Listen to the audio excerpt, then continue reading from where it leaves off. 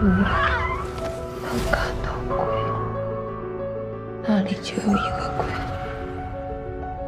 每个人心中都有一个。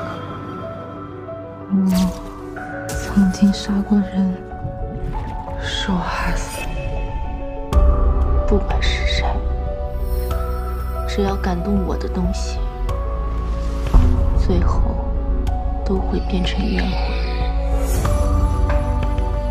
有一个人，我也希望他能快点死掉。怎么又耳鸣了？你是不是有熟人过世了呀？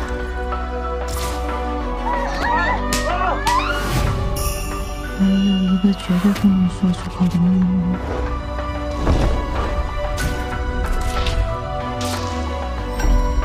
那天，我失去了我的爸妈。姐，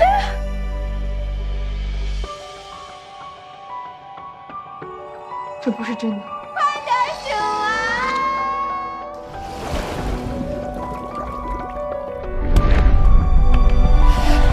救命啊！救命！白天一个人在家的时候，会听到屋顶上有砰砰啪砰的声音。我也听到过，对吧？嗯，我们上面明明没有楼层啊。每个人的身上都散发着有颜色的光，撒谎的人那种光是很暗的。房间那张照片是谁的？一个跳芭蕾舞的女生。这个屋子里有出过人命吗？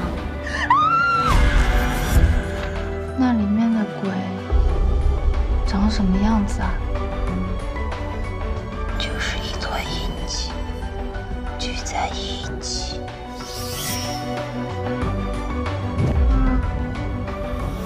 没有人的样子。鞋柜里那个。是被人杀死的。死亡真的是终结吗？大家听听，大家听。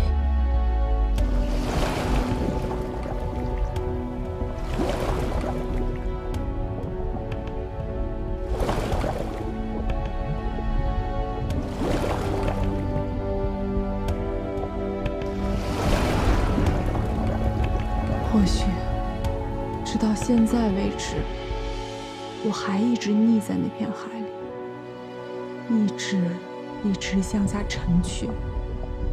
抓着我的人，到底是谁呢？